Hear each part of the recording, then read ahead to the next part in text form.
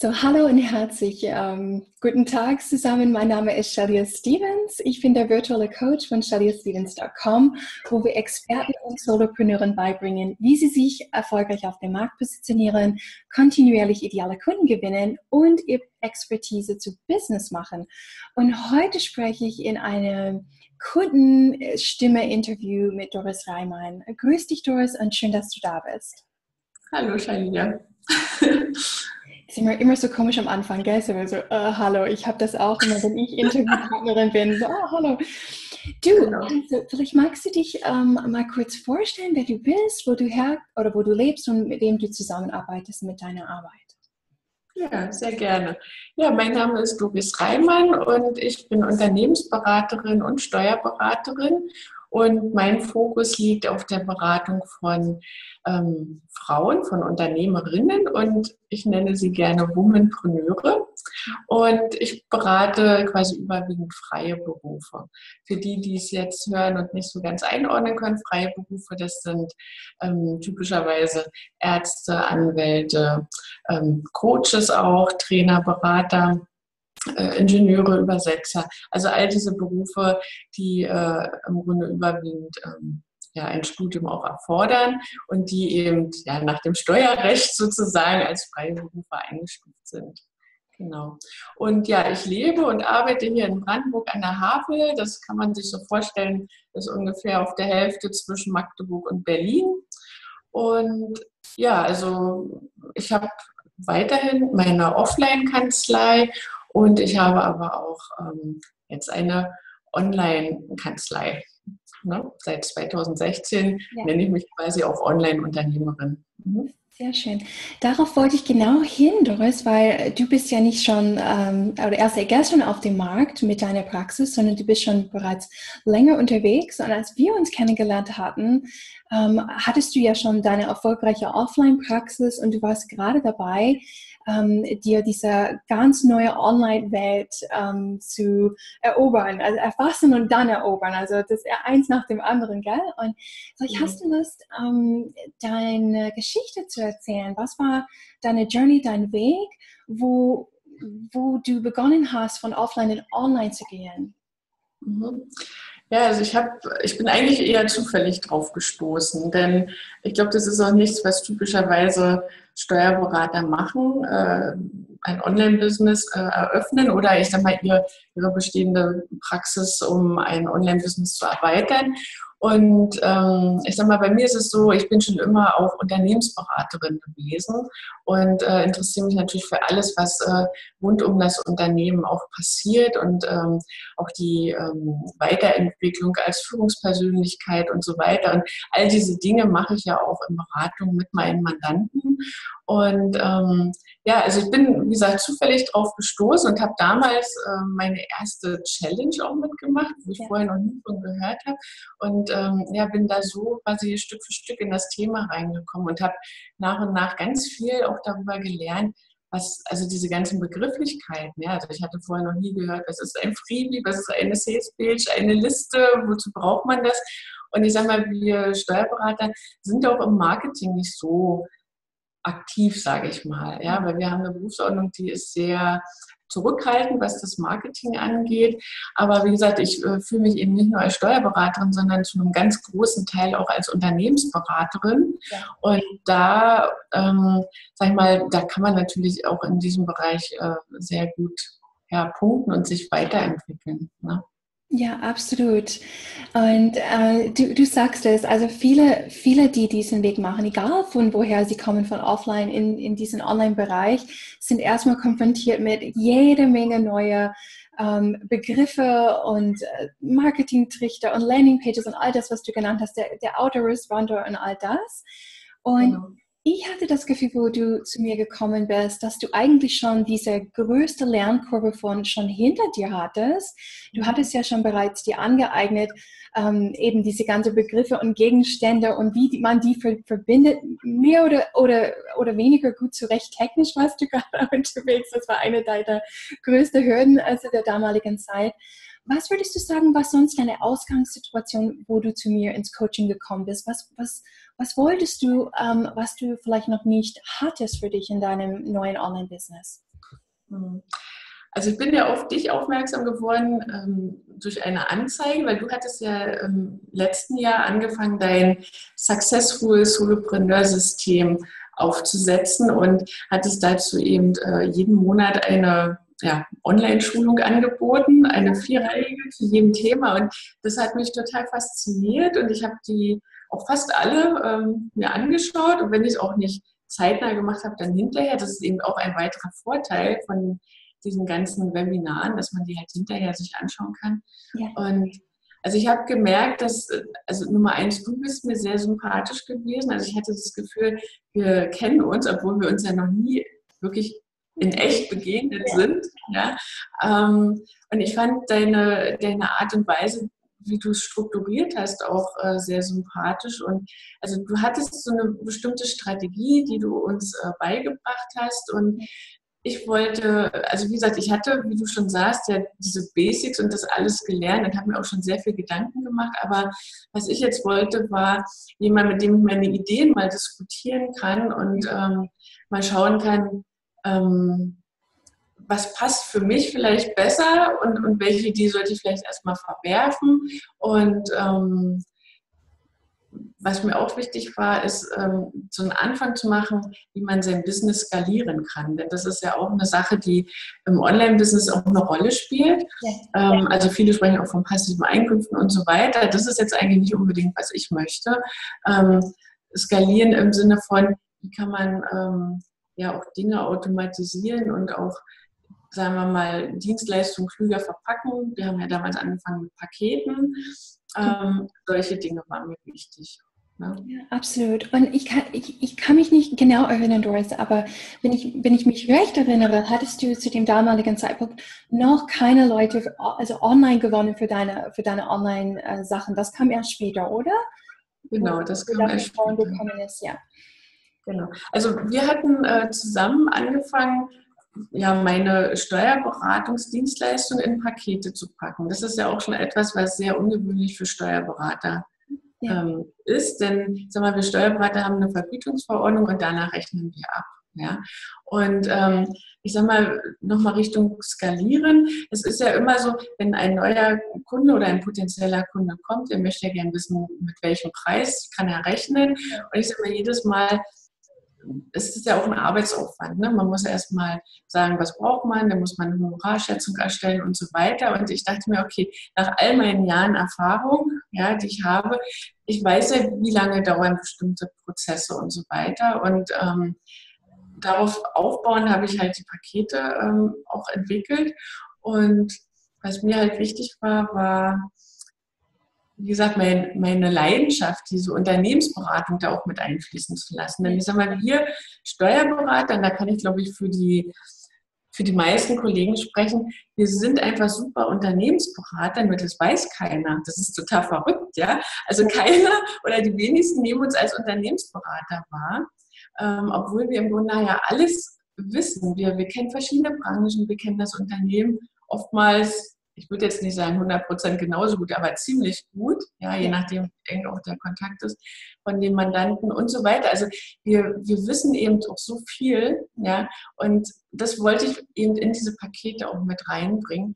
Und da hast du mir natürlich auch geholfen. Und ich sage mal, wichtig ist ja auch, ähm, was kommt rein, was kommt raus. Ähm, ja. Wie nennt man die Pakete? Wie ähm, sagt man auch in einem kurzen, knackigen Text, was kann der Kunde erwarten, dass man eben äh, rauskommt aus diesem ständigen Erklären und Erläutern, dass es eigentlich selbsterklärend ist. Und das fand ich äh, sehr wertvoll.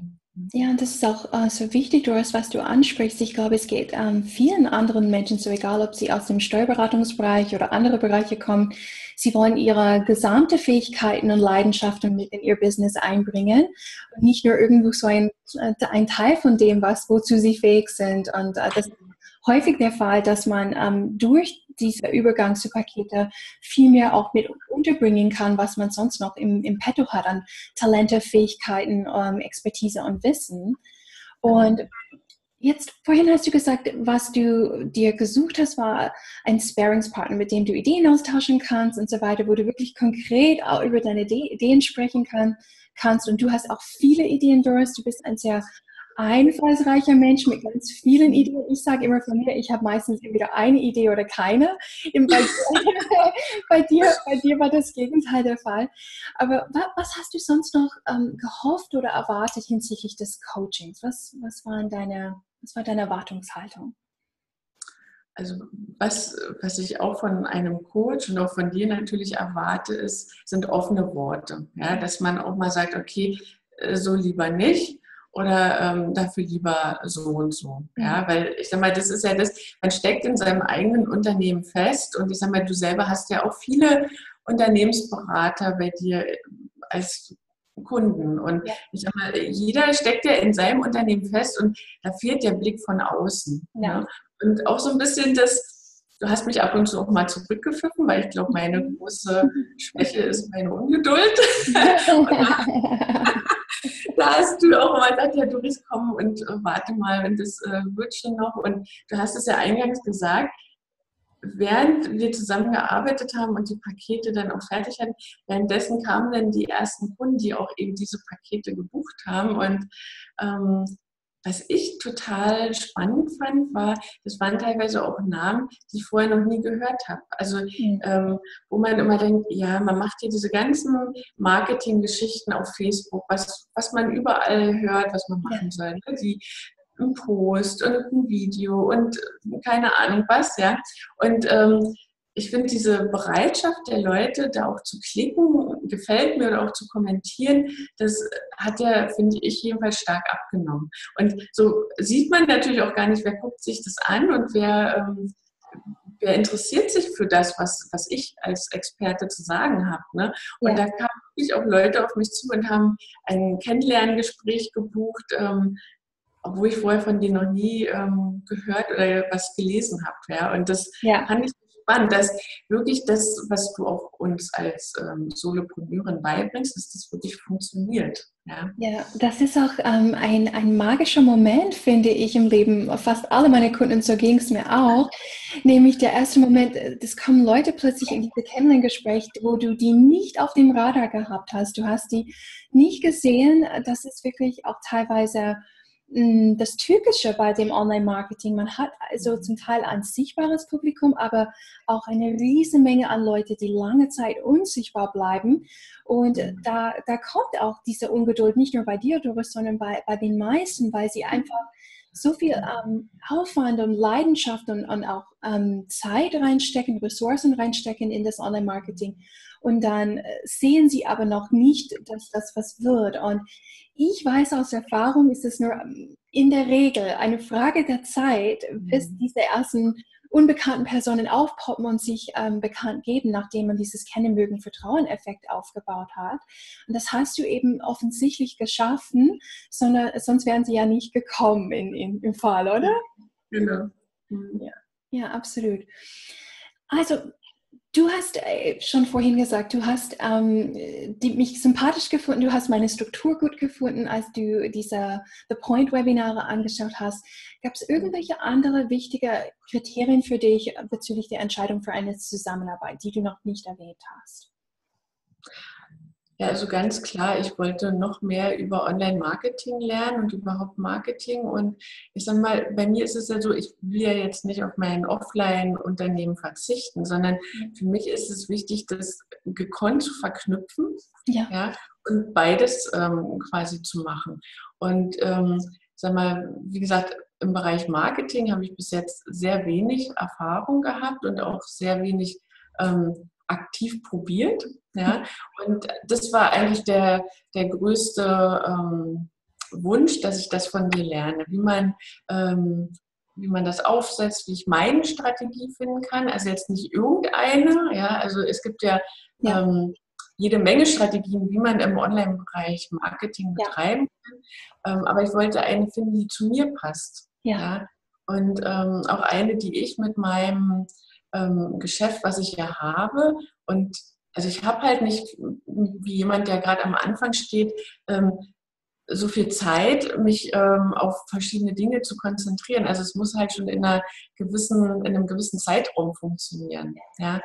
Und ähm, ja, auch diese Abwechslung. Gell? Also du hast ja zum Beispiel mal eingebracht, diese Kaffeegespräche, dass man sich auch mal wirklich mit Multiplikatoren und Influencern versucht zu verabreden auf eine Tasse Kaffee oder so. Also, dass man Leute auch mal live trifft. Und das zeigt halt auch, dass du eben nicht nur das Online-Marketing machst, sondern auch den Offline-Bereich oder wenn ich dich gefragt habe, ja, ich will meine Veranstaltung jetzt machen, ähm, was, was kann ich denn noch tun?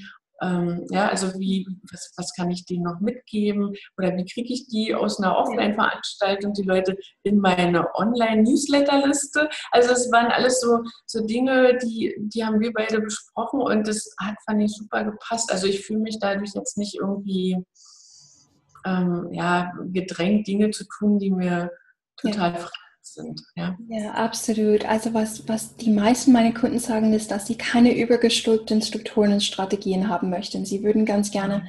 wirklich Dinge machen und tun, die zu ihnen passen, wo sie das Gefühl haben, das ist für mich das Richtige.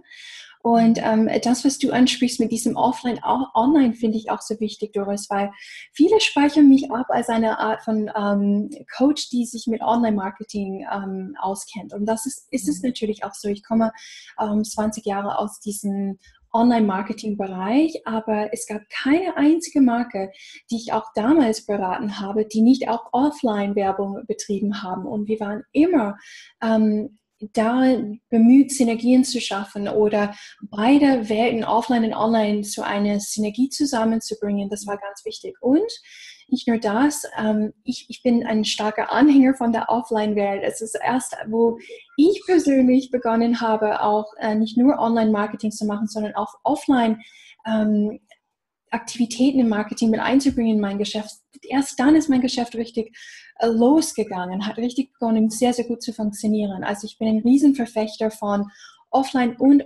Online in einem guten Mix gemeinsam. Und das passt auch wunderbar bei dir, Doris, weil du, du hast äh, sowohl ein lokale ähm, Reach, aber auch du möchtest mit den Online-Angeboten weitergehen. Und dieser, dieser Mix ist auch natürlich wunderbar bei dir. Genau. Du hast gerade vorhin ähm, gesprochen über die Pakete, die ersten Leute, die da an Bord gekommen sind. Was waren sonstige äh, Ergebnisse, die du erzielt hast im Laufe der Zusammenarbeit? Und was mich interessieren würde, sind natürlich sowohl die praktischen Dinge, aber auch vielleicht die innerlichen Veränderungen, weil was, was, was für mich was sogar noch wichtiger sind als, als die ersten Kunden, die an Bord gekommen sind, ist, wie fühlst du dich als Unternehmerin nach dem Coaching? Vielleicht kannst du auf eine, einige dieser Dinge eingehen. Ja, selbstverständlich gern. Genau, also neben den Paketen muss ich sagen, ähm, wir haben angefangen, ähm, dass wir uns Gedanken gemacht haben, wie ich mein Business skalieren kann. Und das heißt halt auch, dass wir Dienstleistungen aufgenommen haben, die ich vorher nicht hatte. Ja. das sind zum Beispiel eben Seminare und äh, Webinare. Mhm. Ähm, und zwar, dass man die jetzt ähm, anbietet als ein, zwei, drei Tage Seminare, um ja, Unternehmerinnen oder bestimmte Zielgruppe. Also wir hatten jetzt überlegt für Gründerinnen ja. und auch für ja, Unternehmerinnen, die schon länger am Markt sind, ähm, ja, Seminare anzubieten. Und ich sage mal, das ist natürlich auch was, wo ich ja, so ein bisschen über mich hinaus äh, auch wachse, denn ich habe zwar vorher schon Seminare abgehalten, aber die wurden halt ähm, von der dritten Person quasi ähm, ja, da wurde eingeladen, das Marketing wurde gemacht, all diese Dinge. Also die Teilnehmer standen fest und ich bin da halt nur hingekommen. Ja.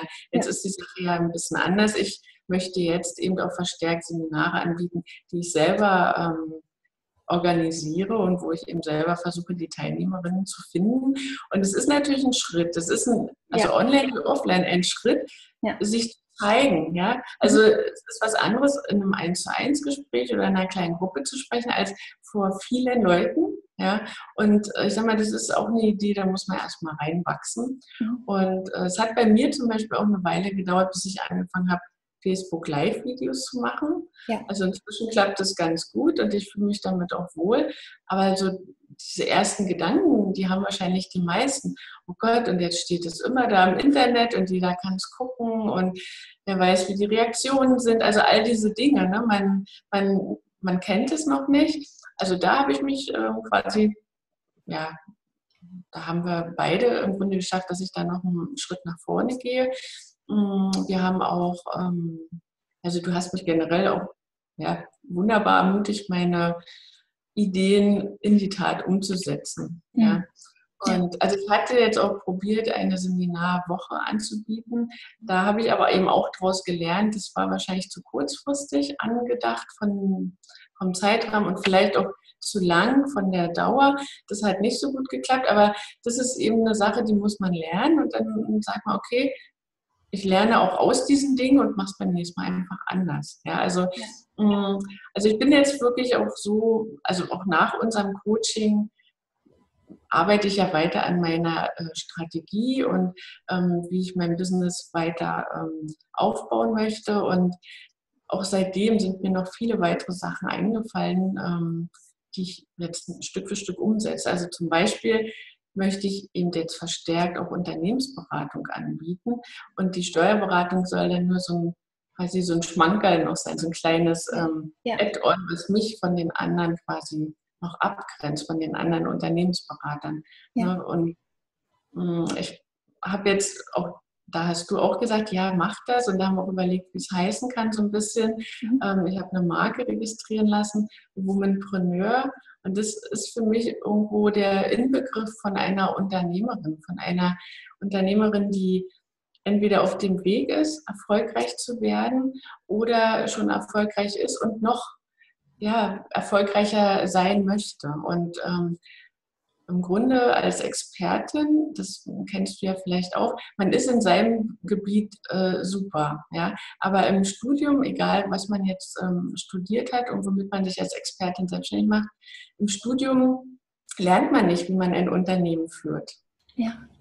Genau. Und das ist eben das, was ich den äh, Unternehmerinnen beibringen möchte. Und auch das ist halt so eine Sache, die, die wir beide mal so ein bisschen angedacht haben. Also ich habe jetzt natürlich noch immer ein bisschen weiter ausgefeilt, aber wir sind ja auch noch immer im Kontakt. Und wenn ich eine Idee habe, ich schreibe dir das auch und dann ja, gibst du mir immer noch mal ein kurzes Feedback und das finde ich halt ganz toll.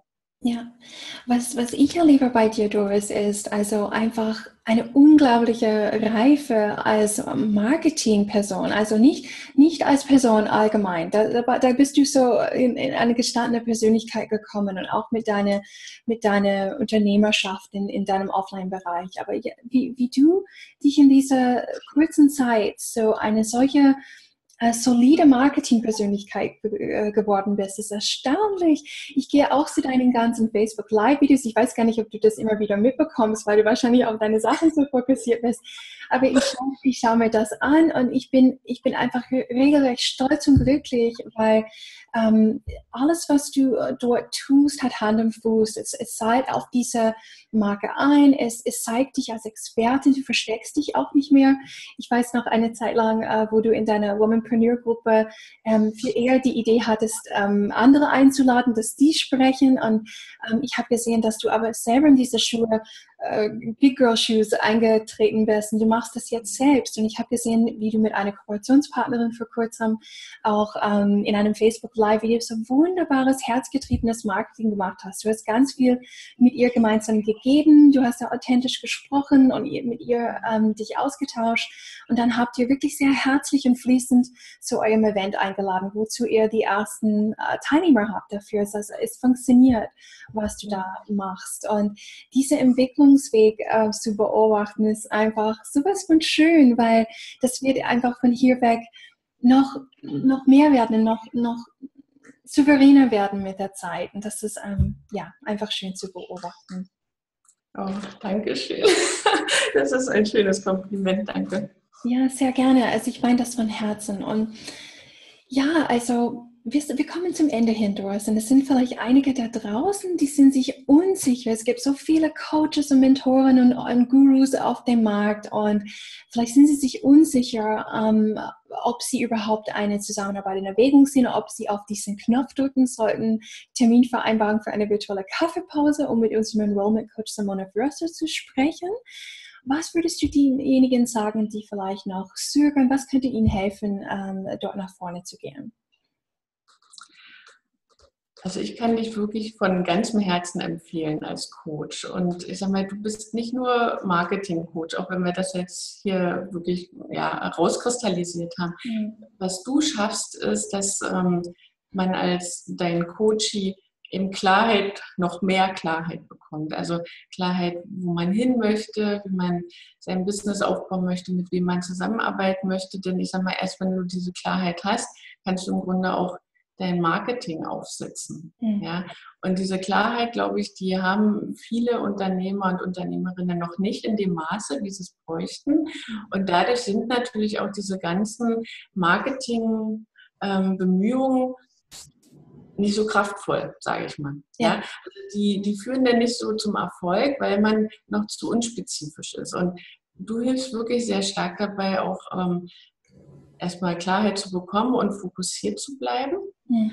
Und ähm, was ich sehr schätze an dir, ist einfach diese, ja, deine Art. Also das ist jetzt vielleicht ein bisschen schwer greifbar, aber deine wertschätzende Art, deine unterstützende Art, dein, dass man das Gefühl hat, auch zwischen den ähm, Coaching-Terminen, du bist da, also du hast ja verschiedene ähm, sagen wir mal, Tools, die du da benutzt, einen Fragebogen und du antwortest aber auch. Ja, also wenn, wenn man irgendwas schreibt, wo man sagt, oh Mensch, hier hakt es kurz, äh, ja, dann, dann reicht von dir eine kurze E-Mail und dann kann man weitermachen. Ja, und ähm, da muss man jetzt nicht bis zum nächsten Termin warten.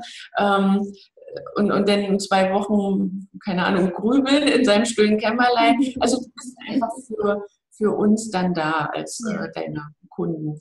Und ähm, einfach ja, du bist integer. Ja, das ist, finde ich, auch ähm, wirklich wichtig in unserer heutigen Zeit. Und man merkt dir deine Entspanntheit an. Mhm. Und ähm, das ist ja auch das, also weißt du, was, was ich sehr mag. Denn dieses Ganze, was man jetzt hier im, im Offline-Market, äh, im Online-Marketing so mitbekommt, dass ganz viel geworben wird mit sechsstelligen Umsatz machen und ich zeige dir, wie du in 20 Tagen zehn neue Kunden bekommst und all diese Dinge. Also ich kann es nicht mehr hören und also ich spreche auch sehr stark dagegen und du bist auch jemand, der dagegen ist, denn so funktioniert es einfach nicht. Ja, also ja.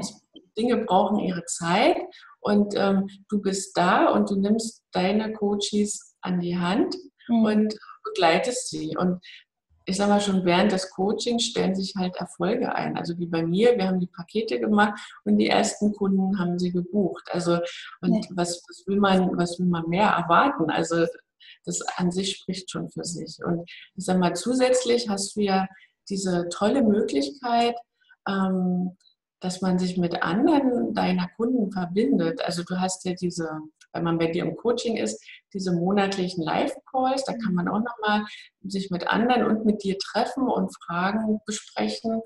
Und ja, also so lernt man auch andere Kunden von dir kennen, was ich eben sehr zu schätzen weiß. Und mit einigen habe ich auch wirklich mich ja, noch ein bisschen intensiver ja. ähm, hinterher und auch zwischendurch schon besprochen.